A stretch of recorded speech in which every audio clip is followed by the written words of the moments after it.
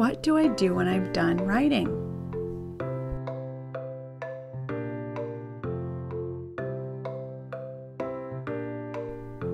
This may be hard to hear, but writing never ends.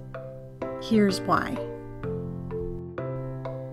Writing is more powerful when you keep trying to improve it.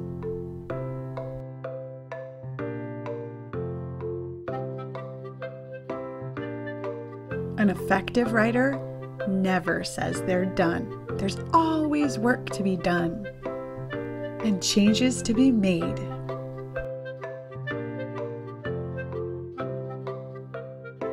If you think you're done,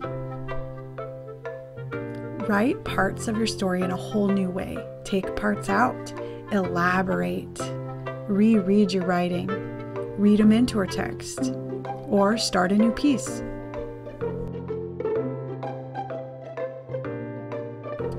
Right, cool. So writing's a lot of work, but it can make me powerful.